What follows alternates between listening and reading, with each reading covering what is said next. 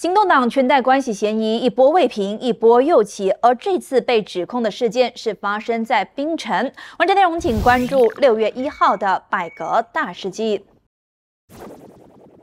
晚上好，我是威明。首先来看，经理部长杨巧双丈夫的公司获得雪州政府颁发巴生河流域电召客货车系统试点项目的风波，反贪会确定将会开档调查。而当事人杨巧双在多次被询及都拒绝回应之后，今天终于正面回应。他在社媒发文对反贪会的调查表示欢迎，希望当局能够揭晓真相，为自己平反。杨巧双也强调，他是基于。调查在进行当中，所以为了不干预调查，之前才没有对此发表任何的言论。然而，有关风波尚未了结，行动党又再度卷入另外一起裙带纠纷中。由宾州前第二副首长拉马沙米成立的民权共识党总秘书沙迪斯就要求宾州首长曹官有解释，为何现任宾州第二副首长加日新的岳父会受委任成为宾州上诉局的主席。槟城立法议会是在五月三十号通过动议，任命六名上诉局董事成。成员，其中加日新岳父就是担任上诉局主席。而去年脱离行动党之后，以独立人士身份上阵北赖州议席的大卫马塞尔也上传了视频，大力抨击行动党已经不同往日，并且扬言会陆续爆出更多的丑闻。Sekarang DAP dah berlain, boleh lantik kroni, boleh lantik saudara, boleh lantik bapa mertua dalam agensi-agensi kerajaan. Tunggu, ada banyak lagi.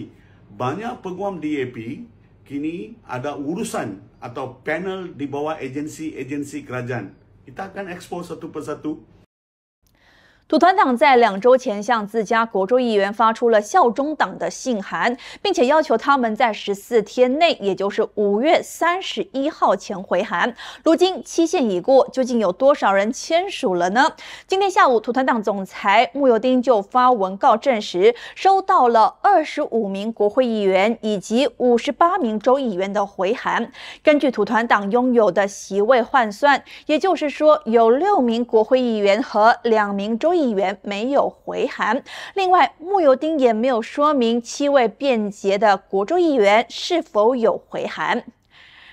尽管距离第十六届全国大选还有至少三年的时间，但是国政和西门会否继续合作的课题啊，经常被人提及。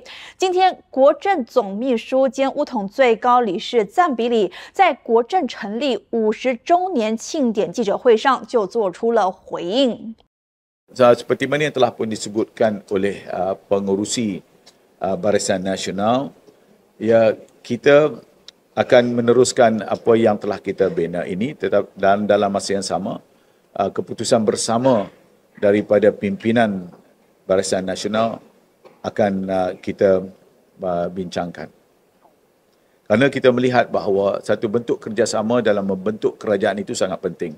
Dan kita dapati sebagai contoh Uh, dalam usaha kita untuk bekerjasama dalam kerajaan yang yang ada pada hari ini adalah merupakan antara model yang yang dapat uh, kita uh, teruskan kalau sekiranya diputuskan oleh majlis pimpinan tertinggi Barisan Nasional.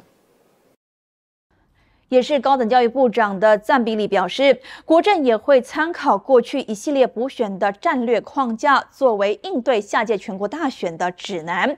至于国政成员党存在意见分歧，尤其是马华对于和西盟合作所表现出的态度，赞比里不否认在民主对话当中会出现意见相左的情况，但是他强调，这个课题已经在国政内部的对话当中解决了。